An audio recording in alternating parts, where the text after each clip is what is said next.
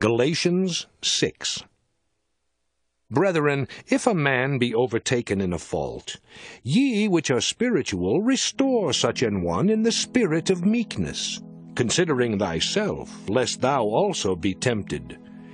Bear ye one another's burdens, and so fulfill the law of Christ. For if a man think himself to be something when he is nothing, he deceiveth himself.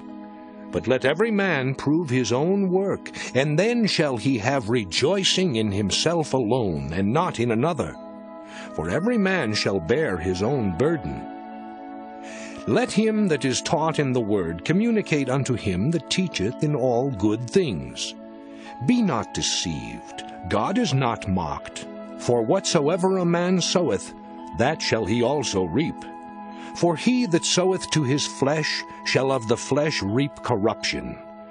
But he that soweth to the Spirit shall of the Spirit reap life everlasting. And let us not be weary in well doing, for in due season we shall reap, if we faint not.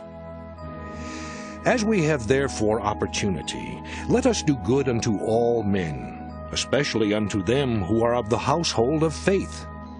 Ye see how large a letter I have written unto you with mine own hand. As many as desire to make a fair show in the flesh, they constrain you to be circumcised, only lest they should suffer persecution for the cross of Christ. For neither they themselves who are circumcised keep the law, but desire to have you circumcised, that they may glory in your flesh. But God forbid that I should glory, save in the cross of our Lord Jesus Christ, by whom the world is crucified unto me, and I unto the world. For in Christ Jesus neither circumcision availeth anything, nor uncircumcision, but a new creature. And as many as walk according to this rule, peace be on them, and mercy, and upon the Israel of God. From henceforth let no man trouble me, for I bear in my body the marks of the Lord Jesus. Brethren, the grace of our Lord Jesus Christ be with your spirit. Amen.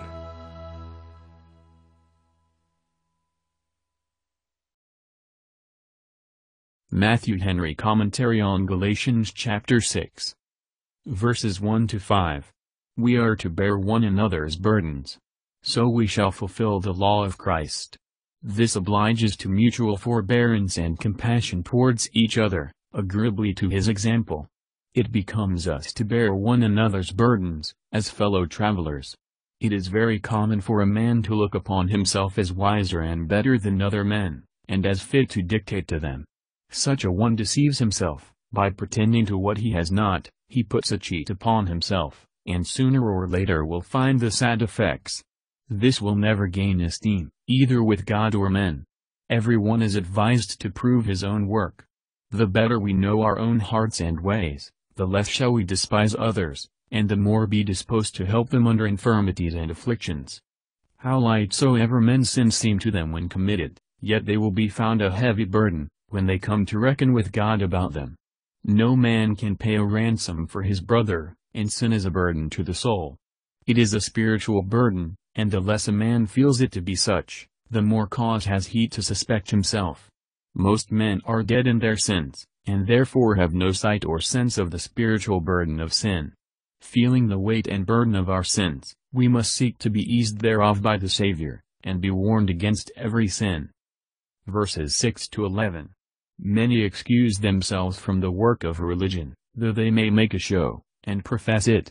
They may impose upon others, Yet they deceive themselves if they think to impose upon God, who knows their hearts as well as actions, and as he cannot be deceived, so he will not be mocked.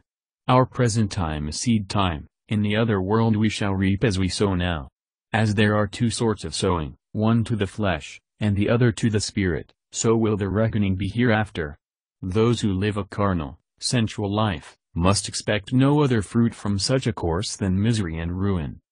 But those who, under the guidance and influences of the Holy Spirit, live a life of faith in Christ, and abound in Christian graces, shall of the Spirit reap life everlasting.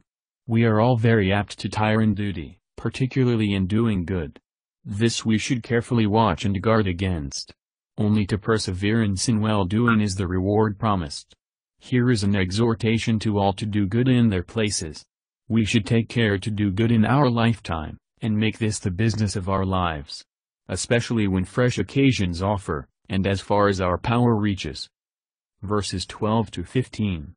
Proud, vain, and carnal hearts, are content with just so much religion as will help to keep up a fair show. But the apostle professes his own faith, hope, and joy, and that his principal glory was in the cross of Christ. By which is here meant, his sufferings and death on the cross, the doctrine of salvation by a crucified Redeemer. By Christ, or by the cross of Christ, the world is crucified to the believer, and he to the world. The more we consider the sufferings of the Redeemer from the world, the less likely shall we be to love the world. The apostle was as little affected by its charms, as a beholder would be by anything which had been graceful in the face of a crucified person, when he beholds it blackened in the agonies of death. He was no more affected by the objects around him, than one who is expiring would be struck with any of the prospects his dying eyes might view from the cross on which he hung. And as to those who have truly believed in Christ Jesus, all things are counted as utterly worthless compared with him. There is a new creation, old things are passed away, and new views and dispositions are brought in under the regenerating influences of God the Holy Spirit. Believers are brought into a new world, and being created in Christ Jesus unto good works, are formed to a life of holiness. It is a change of mind and heart, whereby we are enabled to believe in the Lord Jesus, and to live to God, and where this inward, practical religion is wanting, outward professions, or names, will never stand in any stead. Verses 16 to 18. A new creation to the image of Christ, as showing faith in him, is the greatest distinction between one man and another, and a blessing is declared on all who walk according to this rule. The blessings are, peace and mercy. Peace with God and our conscience, and all the comforts of this life, as far as they are needful. And mercy, and interest in the free love and favor of God and Christ, the spring and fountain of all other blessings. The written word of God is the rule we are to go by, both in its doctrines and precepts. May His grace ever be with our spirit, to sanctify, quicken, and cheer us, and may we always be ready to maintain the honor of that which is indeed our life. The apostle had in his body the marks of the Lord Jesus, the scars of wounds from persecuting enemies, for his cleaving to Christ, and the doctrine of the gospel.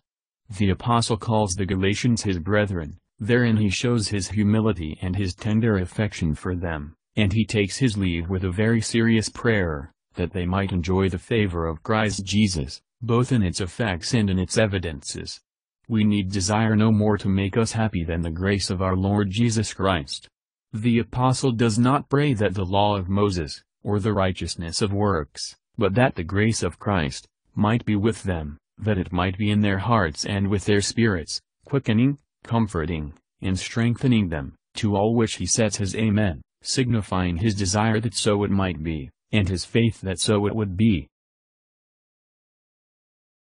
If you want to know more about Jesus and what the gospel means to you, then hit the video shown on the left of the screen and please don't forget to subscribe. May the Lord Jesus Christ bless your day.